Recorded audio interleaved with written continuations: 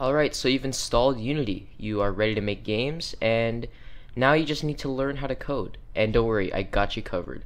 So the series is going to go over the basic ideas and concepts and give you a good understanding on them to help you further build and expand your knowledge to help you make better games and hopefully make a good career off of it. So to start off in the project folder here, we're going to create a new folder and call this our scripts to keep our assets clean and inside since this video will be covering variables I'm just going to create a C sharp script and call this variables. So anytime you make a C sharp script you'll notice that it derives from mono behavior. You could and you could tell a class derives from something when you see a colon here and then a separate type or class. And a mono behavior is a type. So what this means is that this C sharp class can be a component of a game object in the scene. So to make a game object, what you do is in your hierarchy, you can right click in here and then create empty or you can make a cube. But I'll just create an empty. And you can call it whatever you'd like. I'm just going to call this example. And to set its position, you can move this or you can use a transform tool in the scene. You have a blue axis and you can change the tools at the top left. You can rotate it you can scale it up and down. Uh, if you want to reset the transform of an object, what you do is uh, on the game object, you right click your transform component and then you'll see reset. And if you click on that, it'll set everything to its default.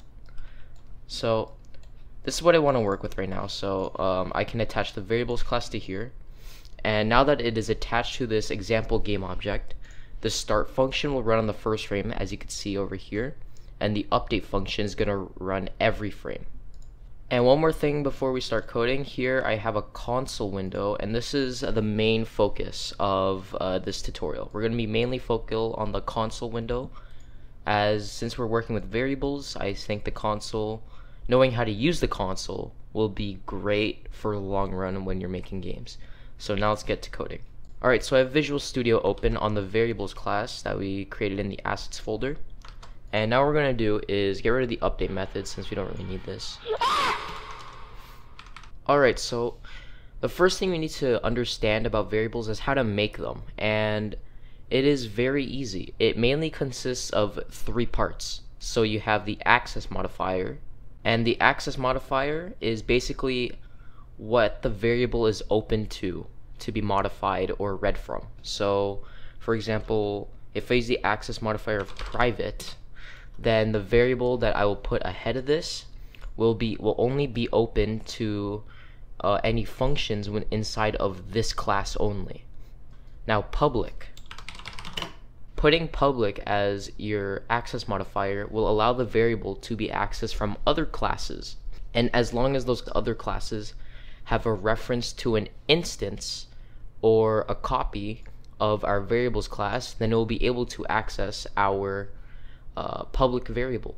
Alright, so those are the two common access modifiers you come across, private and public. Private, it will only allow access within its own class, and public will allow access amongst other classes. Now let's go over the second part, which is the type of the variable. So the type would be, for example, float, and a float is basically type of number. And there's also int and bool. So we're going to go over all of these, so I'll create separate variables for each of them. So a float is a number, and now for the third part, it will be the name of your variable. So I'm just going to call this my float, but you could call this um, fun. Oh, what? Oh, no, you could call this funny or something. You can call it whatever you'd like, but I'm just going to call this my float. And I'm also going to create fields for int and a bool. So let's do that real quick. So I want uh, my boolean to be public, so I do public so it can be accessed amongst different classes. I put bool because that is the type I want to make this variable, and then I call this my bool because this is the name of the variable I want. And same for the int, I want it to be public so other classes can access it. I make it an int since an int is what I want this variable to be like, and my int is the name of the variable. Now, another thing about public variables in Unity is since they're all public, it will allow us to modify it within the editor. And what that means is, if you go back into the Unity editor, and you go to your game object where you have your variables class attached to, you'll see that my float, my bool, and my int are exposed. We can actually modify these variables. So I can set my float to 10.999900 uh, and I can set my int to 90. And modifying variables in the editor is basically setting the default value for your variable uh, when the game starts up unless you modify it in the class. That's that is. So by default just set these to zero. And oh yeah this is a bool here right? True or false? It's like a check mark that when it's checked off it means true. If it is not it means false. Alright so now let's go over modifying the variables Oh yeah, and also you can create variables inside functions too. So these variables that are outside of functions, uh, they are they are open to all the functions inside of your class. So if I have void start and void update, you'll notice that I'll be able to access my float in both of these. So if I do my float, you'll see that it autocorrects to all these variables. And if I put my float in start, you'll see that it also work.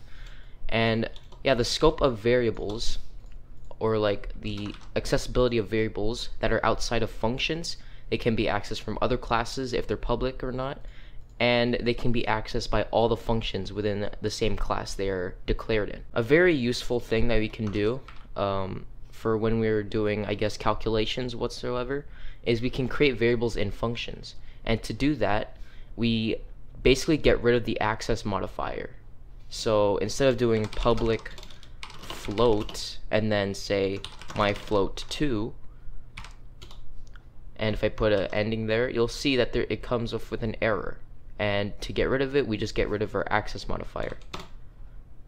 And there you go. Look we created a variable in our function and we can now modify it in here. My float 2 and then we can access it. But in other functions like if I get my update method here again, I cannot access my float2. And look, it's an error. My float2 doesn't exist in the current context. And that is because making variables and functions will make those variables only usable by the function it is declared in. So my float2 is declared in the start method, and therefore my float2 will only be accessible in the start method and not in the update method or any other function. Alright, and one more thing I want to go on over before we start actually modifying these variables in script is type variables.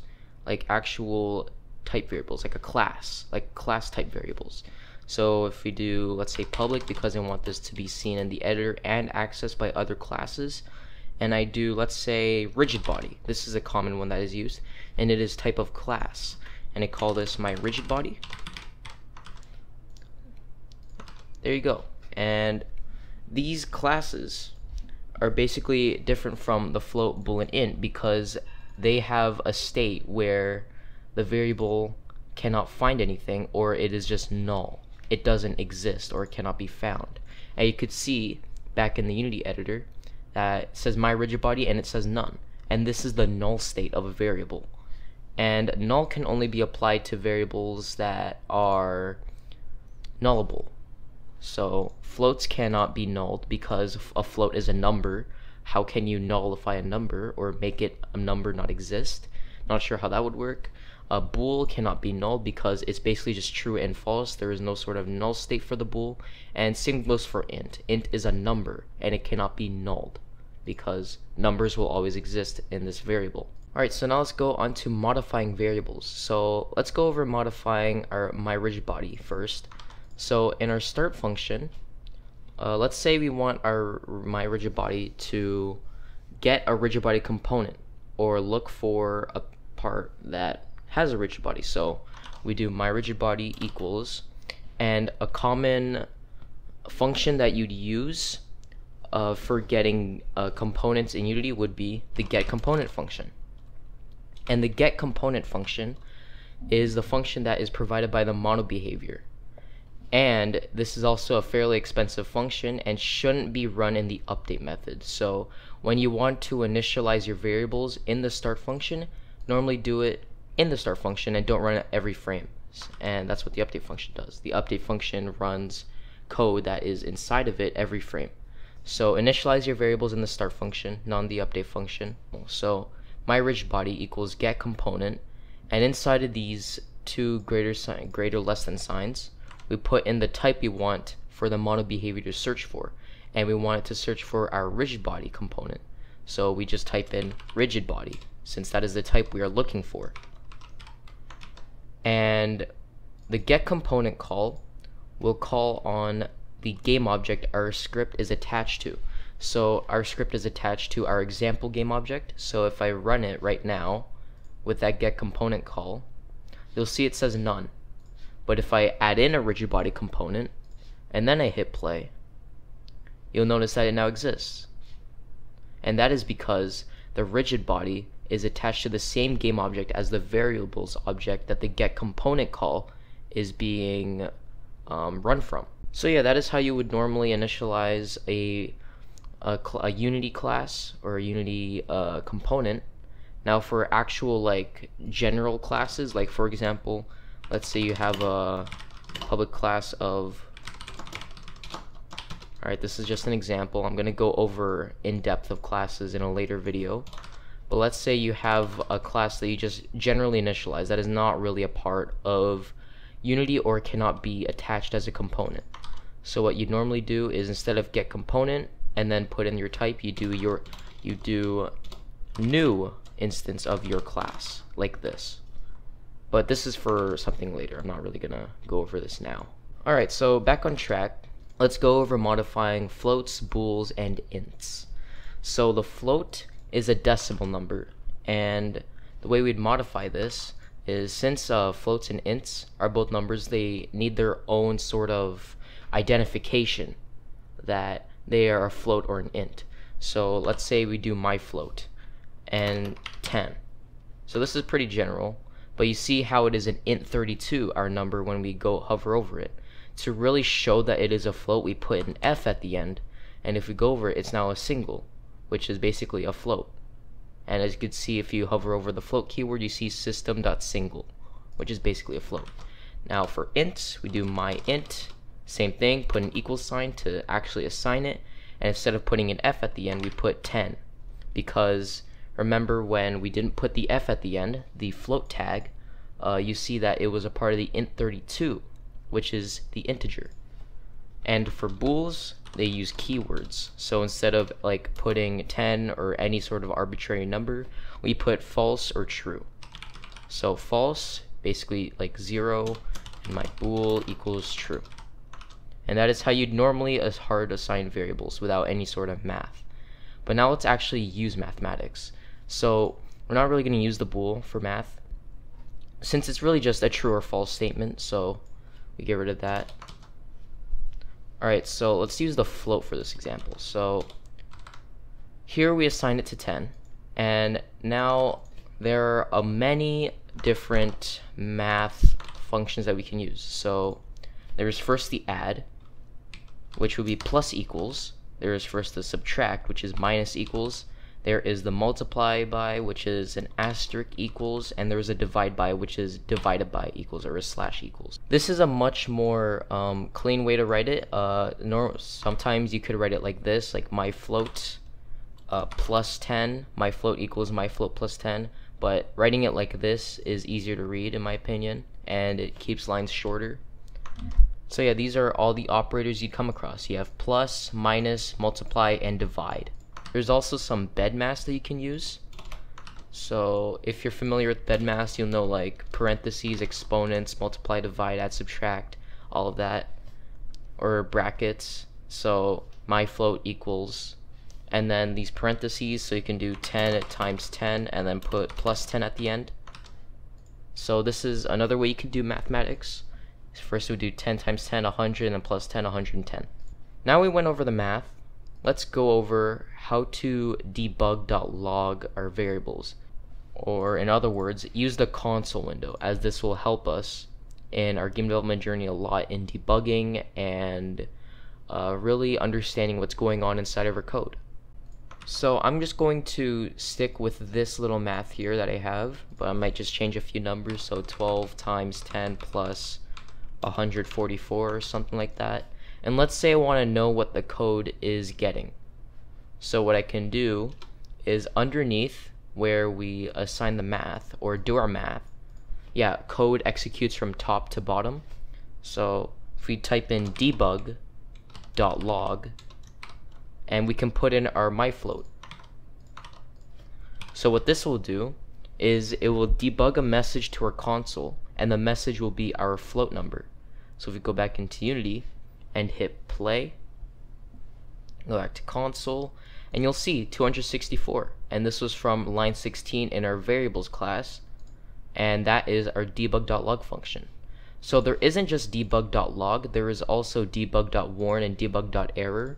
So debug.log is just a general messaging, debug.warn is like, hey, this might go wrong. And then there's debug.error. So log error there.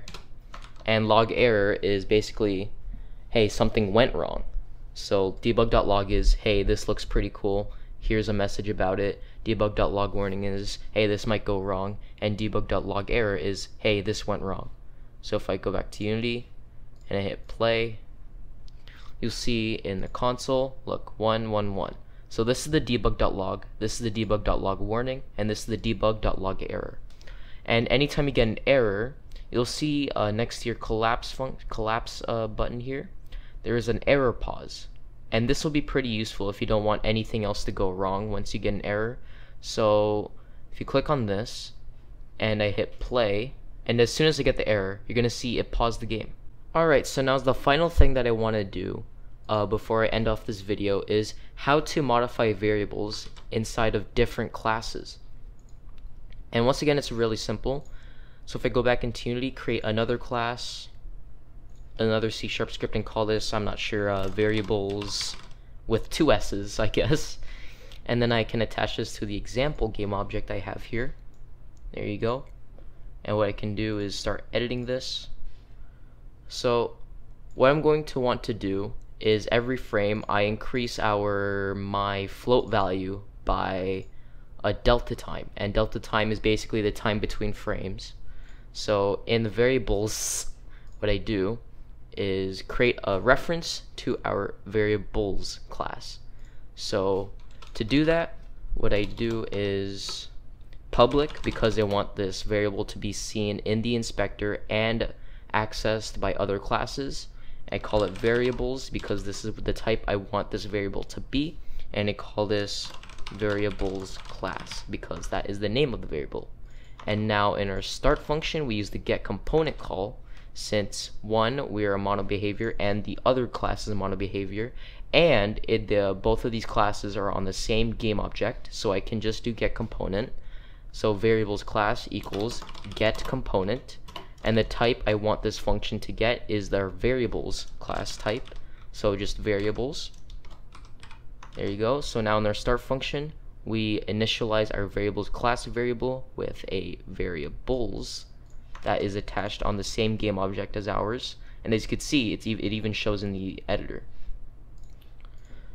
And now in our update method, to access variables in other classes, what we do is take our variable that has the type that we want to work with, so variables class, type of variables, and we do dot to like branch off into the different um, other components of the class. And then we click on this blue thing if you're working with autocorrect dot and then you'll see our variables here because we can access it. So variables class dot my float plus equals time dot delta time. And del time dot delta time is basically just uh, the time between frames in unity. So go back to Unity and I hit play, you'll notice that our variables class becomes assigned because in the first frame we run the get component call and in our variables class you'll notice that our myfloat variable is increasing with delta time. And there you go, that is how you work with variables in Unity. In the next video I'm going to go over the if statement which is more focal on bools and yeah, I'll see you in that video. Goodbye.